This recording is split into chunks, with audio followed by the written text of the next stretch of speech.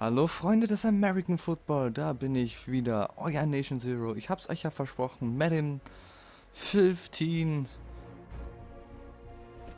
Und da ist es auch schon. Ja, ich hab lange überlegt, lange mit mir selbst gehadert, mache ich's, mache ich's nicht. Äh, ich muss zugeben, aufgrund äh, der Ahnung, die ich von dem Sport habe, was nicht besonders viel ist, ist es sehr schwierig für mich, aber nichtsdestotrotz versuche ich es trotzdem, versuche ich es als Spieler, äh, werde mir hier einen Spieler kreieren, einen Advanced Quarterback, äh, im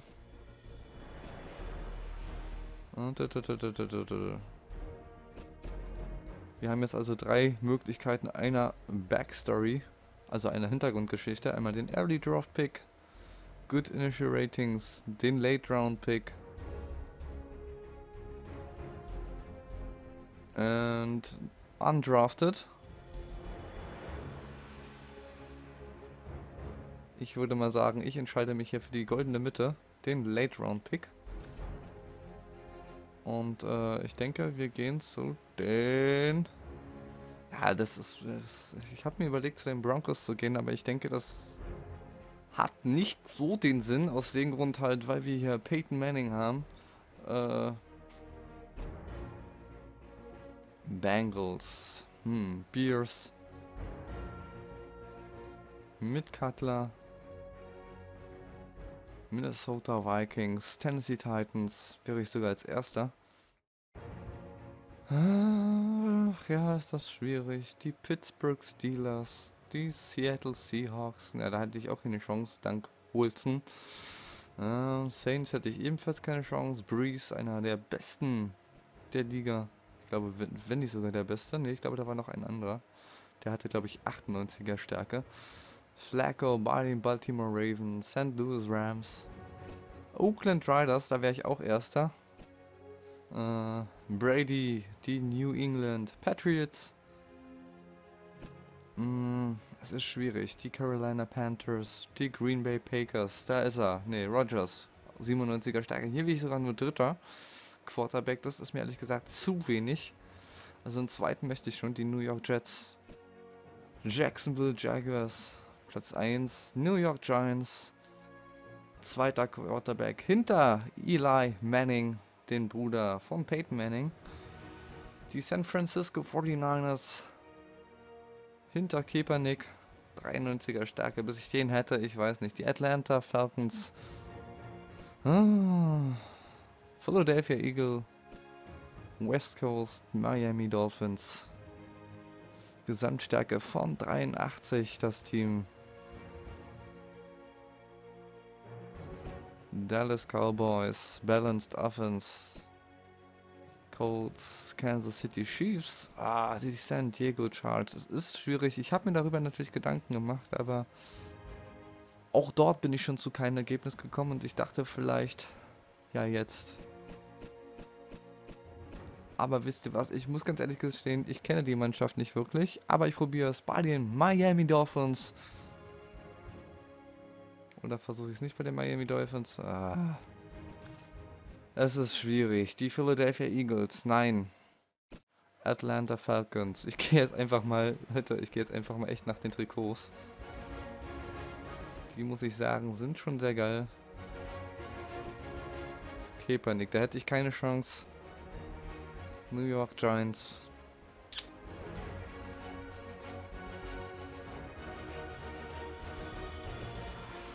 New York Jets, Detroit, Green Bay, Packers. Puh, Newton. 95er Stärke. Auch hier hatte ich keine Chance. Brady, die Oakland Riders. Ich glaube, eine der wohl bekanntesten Mannschaften in der NFL. Puh, St. Louis Rams, Baltimore Ravens, Washington Redskins. Ich kann mich einfach nicht entscheiden, Freunde. Was ist da los?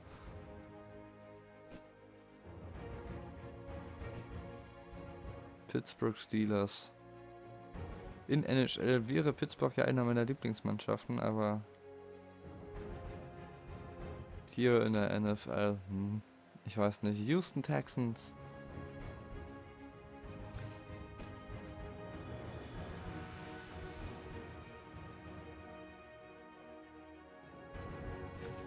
Wisst ihr was, Leute? Ich habe mich entschieden. Wir gehen. Bevor ich jetzt zu Ende spreche, überlege ich nochmal ganz kurz.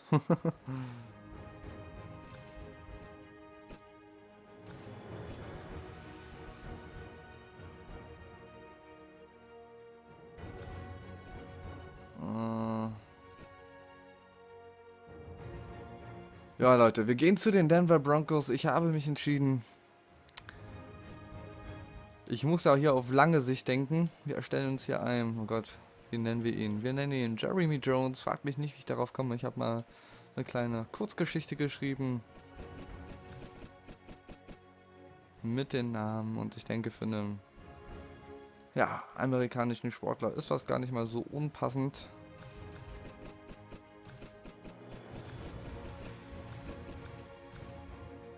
So, Position Quarterback, Jersey, die 19, die, was hat er denn noch? Die 3, 6, 7. Wir geben ihm die 7, oder? Ah, die 19. Wir geben ihm die 19. Er ist Linkshänder.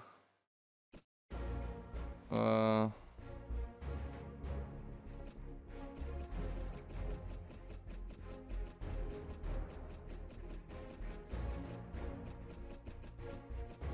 Kommt allerdings aus dem Boston, aus Boston University.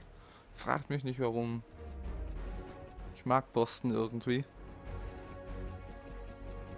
Ah, ich finde das doof, dass sie hier keine Liste gemacht haben.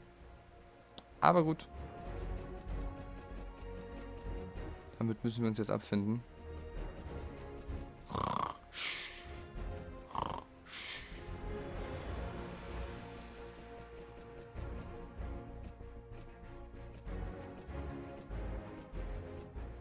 Da ist es, das Boston College.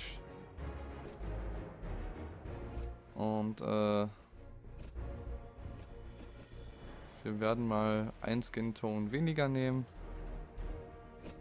Geben ihn Head Nummer 7. Oder? Das ist schwierig, schwierig, schwierig, schwierig. Ja, ich muss ganz ehrlich sagen, Freunde, von den das ist gut. Von den, äh, welcher Kopf ist das jetzt? 24. Von den Erstellmöglichkeiten hier in Madden 15 bin ich ehrlich gesagt alles andere als begeistert. Äh, Finde ich ein bisschen traurig, da erwarte ich dann von NHL wesentlich mehr. So, jetzt geht's hier ums Vision, Face Marks.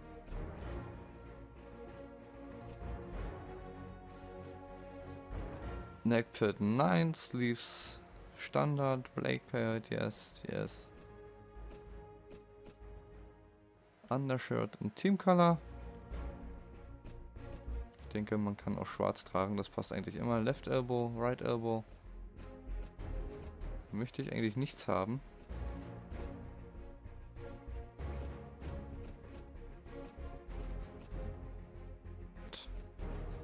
Handwarmer, no. Kneepads Nike. Das wollen wir nicht. Socks. Schön hoch. Sieht super aus, macht nichts. äh.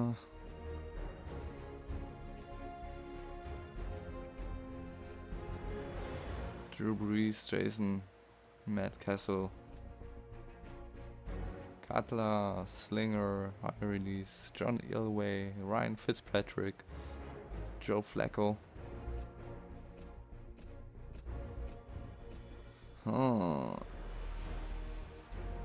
Gehen nach unserem großen Vorbild hier, Manning, zur Sache. So. Und das war's. Wir machen hier, wo ist es denn? Vier Minuten machen wir. Game Speed Normal. Ähm, und ich denke, das dürfte es dann auch schon gewesen sein.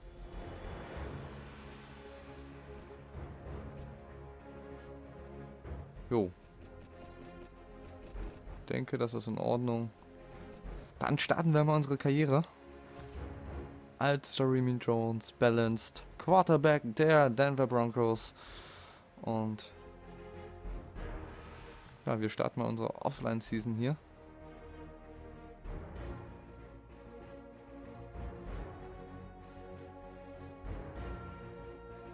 So, und wir gehen hier zu den Actions, da können wir noch ein bisschen trainieren. In den Game Preparations.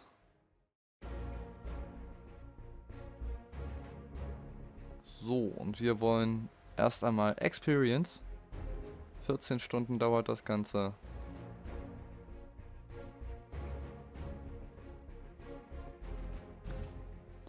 er Stärke haben wir schon. 480 haben wir bekommen, das ist nicht so dolle. Machen das Ganze nochmal. Haben jetzt nochmal 550 bekommen, das heißt wir haben schon mal 1030 Experience. Das ist schon mal nicht schlecht. Mm, damit werden wir allerdings noch nicht viel machen können. Und ich würde sagen, wir gehen hier ins erste Vorbereitungsspiel gegen die Seahawks.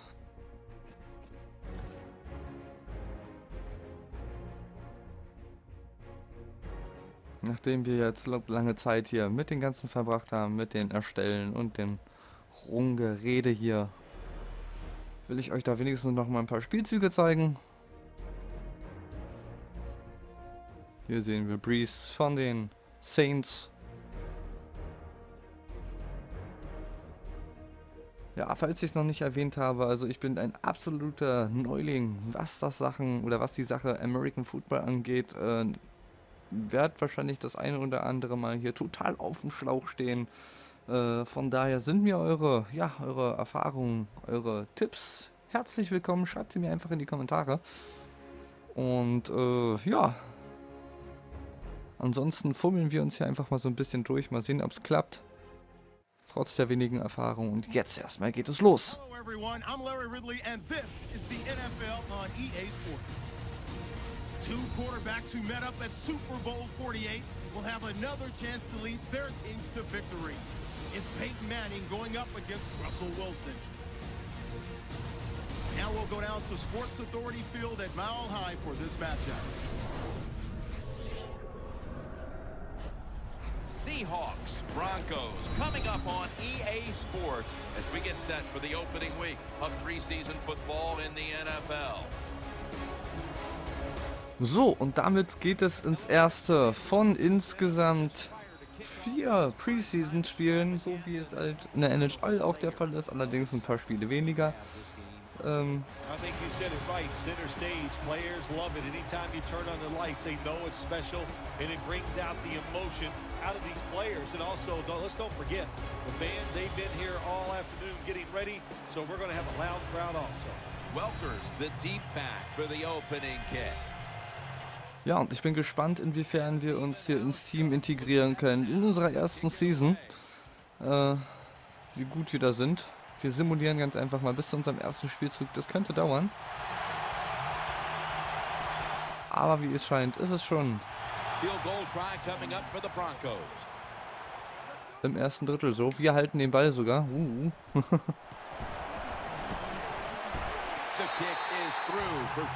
Und der Kick, das Field Goal ist gut. Das bedeutet, wir kriegen drei Punkte auf unser Konto gut geschrieben. Predator mit einem schönen Kick, schön sauber geschossen.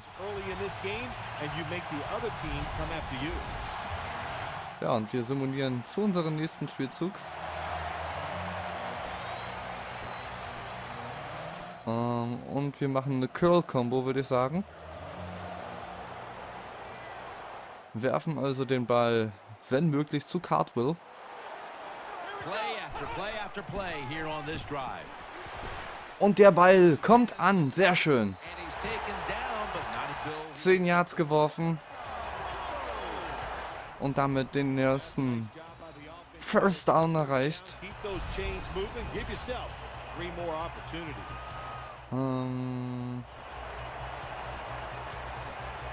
so, was machen wir jetzt? Inside Zone. Curflet. Wir machen es nochmal. Curflets. Und dieses Mal ist Kreis, sprich Lettema unser Ziel. Mal sehen, ob es wieder so erfolgreich wird. Wir werfen und der Ball, uh, ja, das hat nicht geklappt. Da haben wir zu spät geworfen, würde ich sagen. Und deswegen Lane beinahe hier mit der Interception.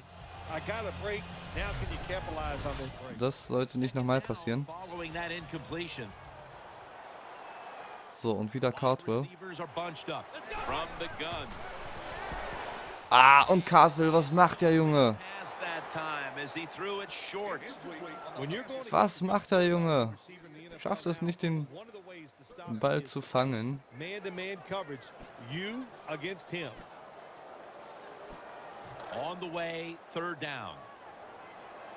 So, und Lette mal wieder unser Ziel.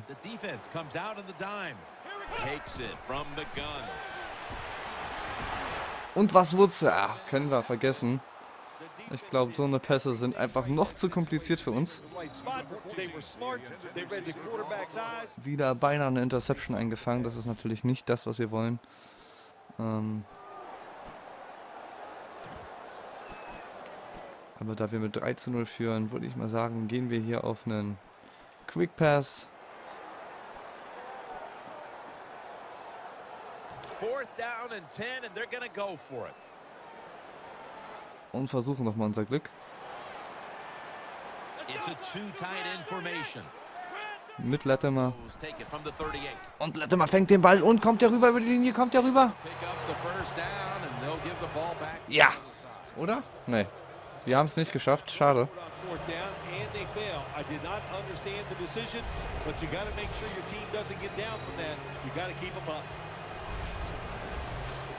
Da kann nicht viel gefehlt haben. So, und es steht 3-3. Versuchen es hier mit dem Middleslands wieder mit einem Kurzpassspiel auf Cardwell. Und der Pass ist complete. Cardwell fängt ihn und sichert uns hier den nächsten First Down. Sehr schön. Quarterbacks and receivers in this NFL now are so good. It's so easy for them Schön getimter Pass, schön gefangen auch von Cardwell, wirklich gut gemacht. So muss es sein. So, Slow Swing, okay, nee. Wir hören jetzt auf den Coach und damit sind wir bei der 2 Minutes Warning. Das heißt, wir sind zwei Minuten vor dem Ende der elf, ersten Hälfte.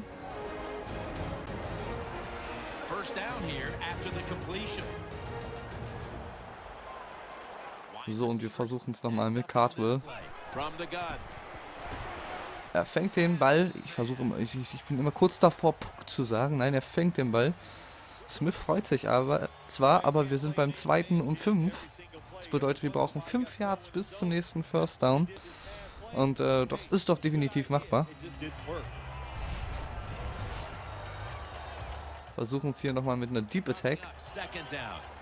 Bin mal gespannt. Wäre natürlich schön, wenn wir unserer Mannschaft jetzt einen... Warum fängt er den Ball nicht? Der Ball war ja jetzt wirklich nicht kompliziert. Ja, da wären wir beinahe gesackt worden, aber konnten es Gott sei Dank nochmal verhindern. Und jetzt versuchen wir es mit einem Run.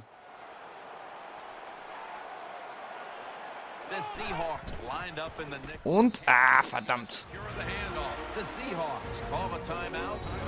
Ihr habt es gehört, die Seahawks nehmen hier einen Timeout, damit die Zeit nicht weiterläuft. Und wir könnten es jetzt natürlich entweder mit einem Field Goal versuchen oder wir gehen hier auf Risiko.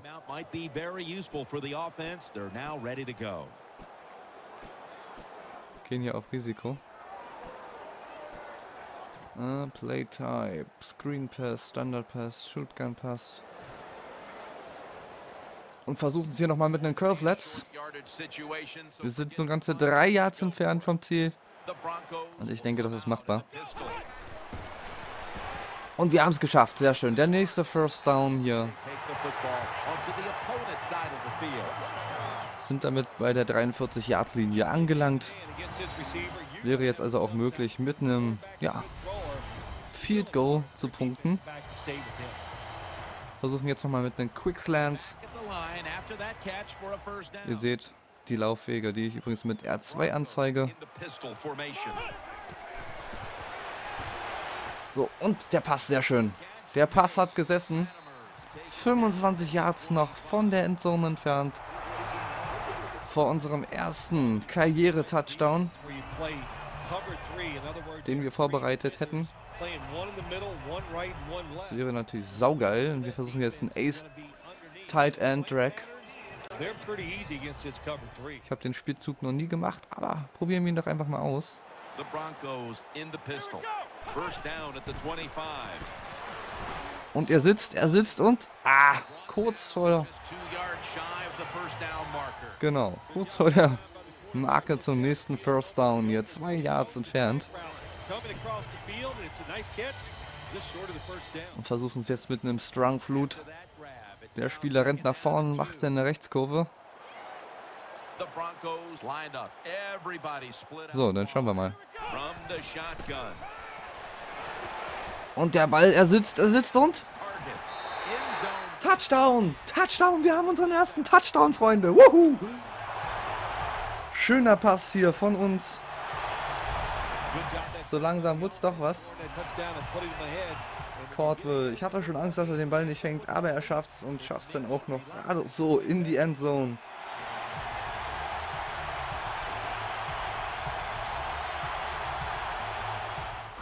Ja, so. Dritte Drittel, 2 Minuten 46, da werden wir das nächste Mal eingesetzt und wir versuchen es wieder mit einem Curve Flats auf Latimer.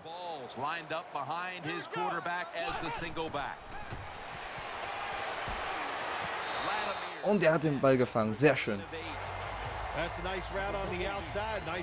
Auch unsere Passstatistik lässt sich sehen, 9 von 13 Würfen angekommen knapp 93 Yards. Ich denke, das geht vollends in Ordnung. Wir versuchen es wieder mit einem Strong Flute, da es beim letzten Mal so schön funktioniert hat. Auf Cardwell.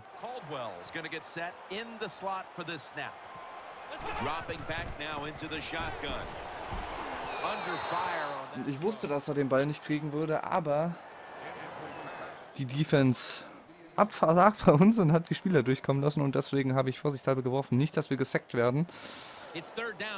Und damit ein, ja, Raumverlust zu verantworten haben. Das wollen wir auch nicht. So, schön, jetzt schön gewartet und da haben wir ihn. Lettemer, Lettemer kommt weit, 27 Yards Linie hier, sehr schön. 136 Yards haben wir inzwischen schon geworfen. 10 von 15 Versuchen. Das sind 66,6 Prozent, würde ich mal behaupten. Und ich denke, für unser erstes Spiel ist das durchaus eine akzeptable Statistik. Also da habe ich mit Mannings oftmals Schlimmeres gehabt. So, gleiche, gleiche Taktik hier nochmal. Ah, er hat es diesmal nicht ganz geschafft. Hat aber immerhin 5 Yards gelaufen. Damit sind wir beim Second und 5, also beim zweiten und 5. Und ich denke, hier ist alles möglich. Und das sieht auch sehr, sehr gut aus für den ersten Sieg der Denver Broncos in der Preseason. Wir versuchen es hier mit einem Play-Action-Pass mit den Misdirection. That was a nice reception, but not enough for the first down. Second down coming up. Mal sehen. Und er hat den Ball gefangen. Sehr schön. Oh, war das knapp. Beinahe hätte er uns gehabt. In der letzten Sekunde habe ich es noch geschafft, den Ball zu werfen. Guckt euch das an. Und dann macht Ham es genau richtig und fängt den Ball. Und dann versuchen wir es mit einem PA-Mittel. Und vielleicht schaffen wir es ja hiermit auch schon den zweiten Touchdown einzuläuten. Wir werden sehen. Könnte natürlich genauso gut ein Interception werden. Oh, und das war nicht gut. Das war nicht gut. 12 von 18.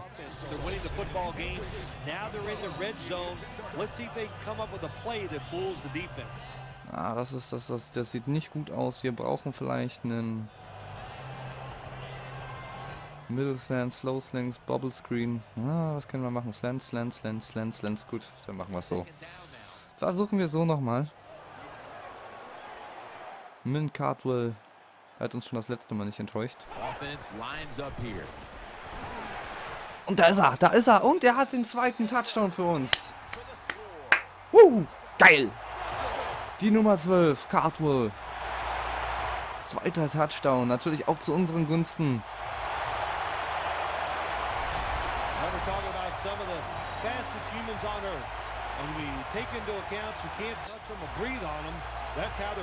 Und bringt ihn in die Endzone.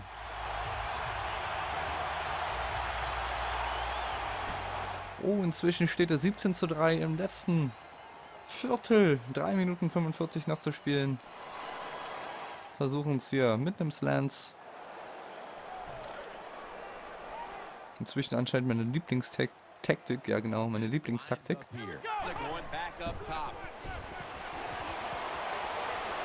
Sie klappt aber auch ständig. Schöner Pass hier auf Cardwell. Wieder einmal 14 von 20 Pässen.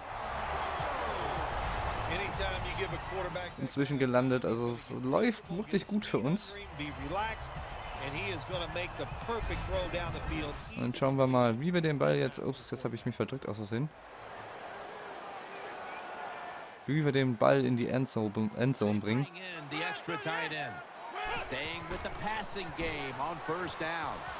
Und Tam hat ihn gefangen. Allerdings nur 4 Yard Raumgewinn. 185 Yards haben wir inzwischen geworfen. Das ist, glaube ich, mal ganz ordentlich. Deswegen bekommen wir anscheinend auch so viel Spielzeit.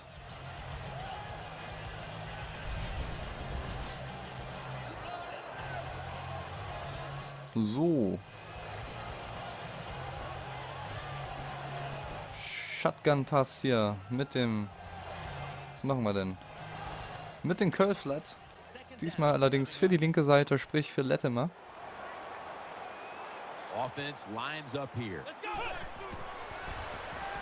Und der fängt ihn. Touchdown Nummer 3 hier. Woo! Diesmal Latimer. Und ich würde sagen, eindeutiger kann das Ergebnis kaum sein hier.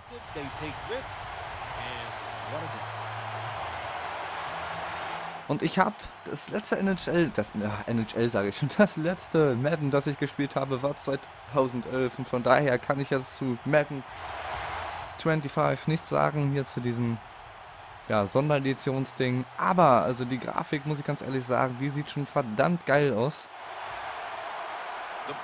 Da bin ich wirklich positiv beeindruckt.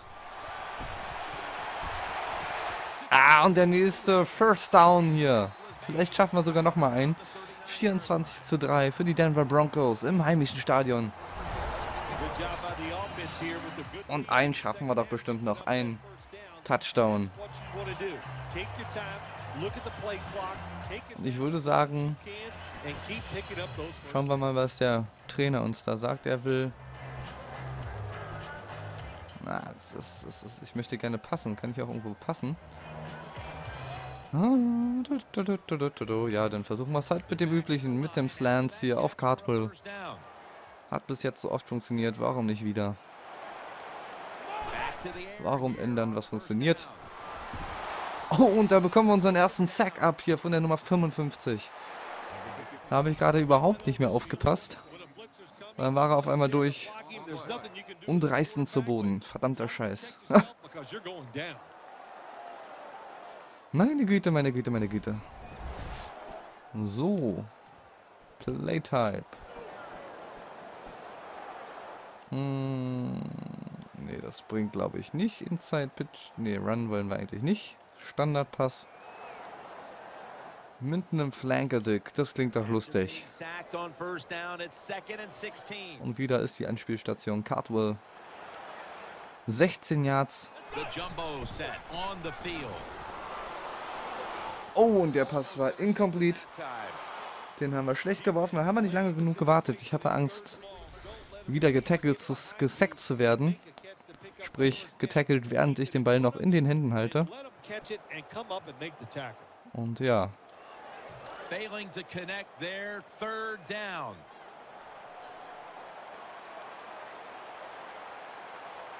Versuchen. Caldwell's got on a pass, had some heat on it.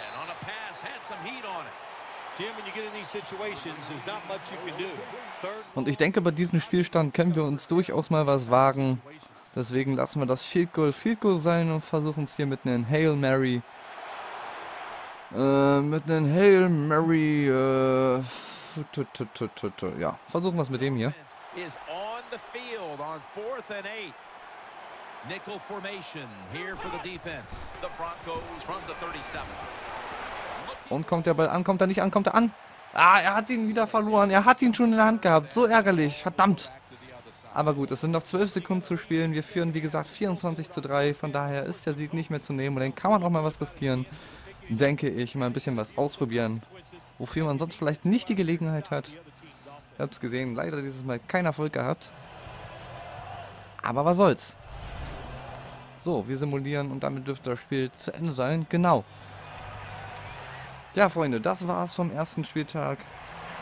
Hier, das Preseason-Spiel, die Denver Broncos gegen die Atlanta Seahawks.